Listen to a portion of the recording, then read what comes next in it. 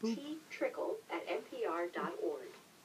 The forecast calling for the frigid conditions to continue with mainly fair No. skies the rest of the day. Temperatures topping out in the single digits below. West northwest winds up to 10 miles an hour, making it feel like the minus 20s. And then overnight, low temperatures around 15 to 25 below. Tomorrow, a chance for a little light snow, 1 to 2 inch accumulations possible during the day on Tuesday.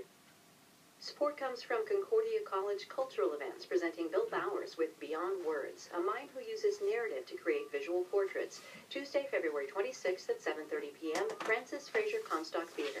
Tickets at concordiatickets.com. Here's the scene from a ball from the Fantastic Symphony. The Symphony Fantastique by Hector Oh, Berlioz. it's a fantastic Paul Paray symphony. leads the Detroit Symphony Orchestra.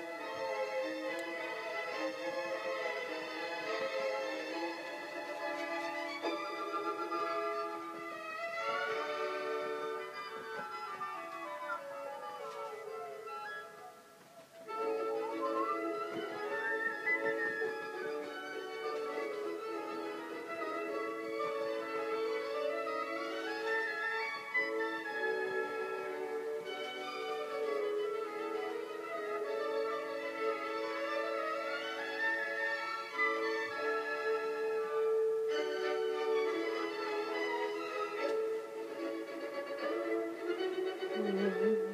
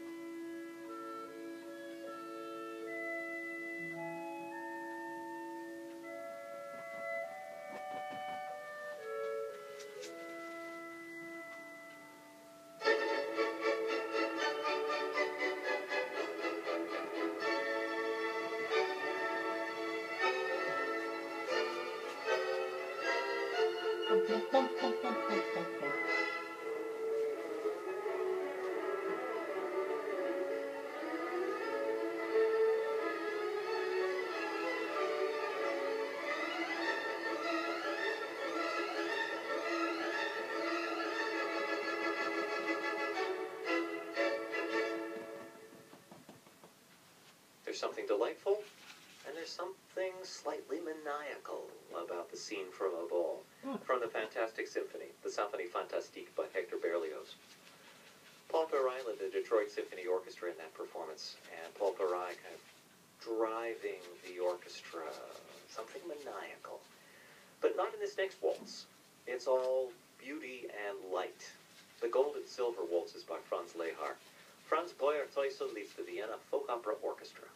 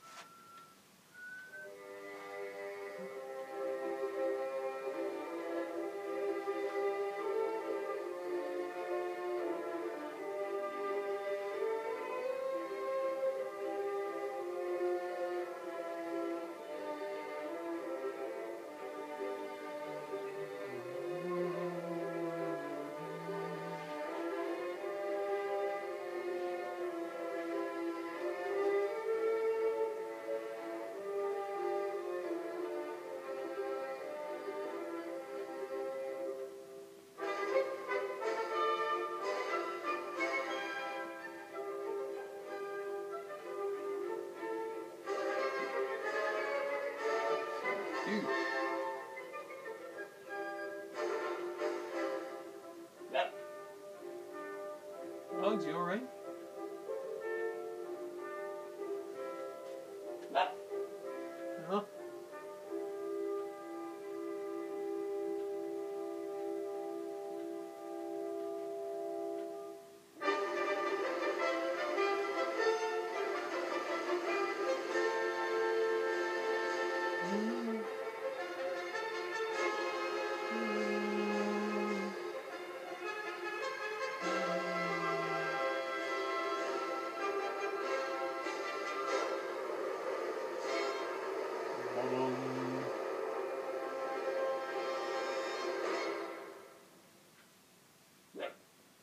Silver Waltzes by Franz Lehar, the Vienna Folk Opera Orchestra led by Franz Bauer-Theussl. 15 minutes past 4 o'clock, I'm Steve Staruch on a Monday afternoon. your toys all. Composer's Datebook is next. Music is supported by Haskell's, the wine people. Locally owned, family operated, and serving our community since 1934. Featuring a varied selection of wines and spirits, ciders, and craft brews. Providing convenience, selection, service, and home delivery at 11 metro locations. This is the Composer's Datebook for February 25th. I'm John Zech. As part of its 150th anniversary celebrations, the New York Philharmonic commissioned a number of new works. One of them premiered at New York's Avery Fisher Hall on today's date in 1993. It's dedicated to the Philharmonic and their music director then, Kurt Masur.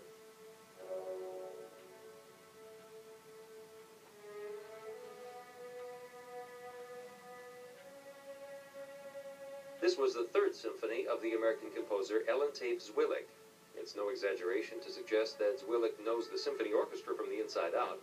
For seven years, she was a violinist in the American Symphony Orchestra, a New York-based ensemble conducted by Leopold Stokowski when she was a player. Oh. For her third symphony, Zwillig confessed she had an often neglected section of the orchestra in mind. In an interview, she said, I'd noticed over the years the rising quality of viola playing, and I thought that the Philharmonic section was absolutely amazing. So when I had this commission, I thought almost immediately of focusing on the violas. When you think of it, many symphonies of the past are like first violin concertos with second violin and viola accompaniment. And I really wanted to put the spotlight on the viola section and give them a great deal to do, not only in terms of virtuosity, but of importance and centrality to the piece. So this symphony really grew out of my love for this section of the orchestra. Composer's Datebook is supported by T. Rowe Price, offering a strategic investing approach for their clients' investment and retirement goals. Institutions, advisors, employers, and individuals choose T. Rowe Price. For over 80 years, T. Rowe Price, invest with confidence. Composer's Datebook is produced by APM, American Public Media, and the American Composers Forum, reminding you that all music was once new.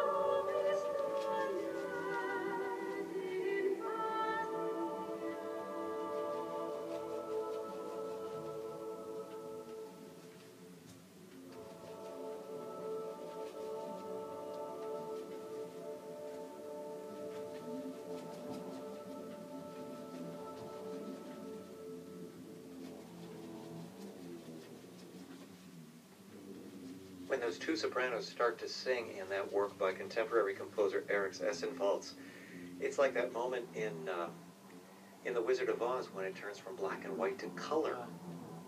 O Salutaris Hostia by Eriks Esenvalds, a performance with the Schola Cantorum of Reykjavik. Music like that, you just can't turn away from when you're listening to classical Minnesota Public Radio. I'm Steve Staruch. This is 91.1 KCCM Moorhead Fargo. Programming is supported by Wright Funeral Home, serving the Red River Valley families for over 138 years. A team of dedicated professionals committed to serving families with care and compassion. There's more information online at wrightfuneral.com.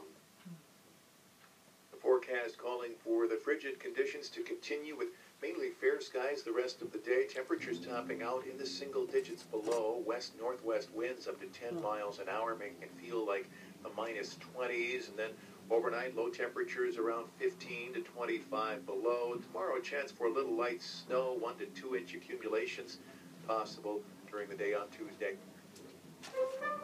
Join Alison Young weekday mornings at 10 for Morning Glories, a daily exploration of a full-length classical masterwork. Become a fan of Classical MPR on Facebook and find out what's coming up each day.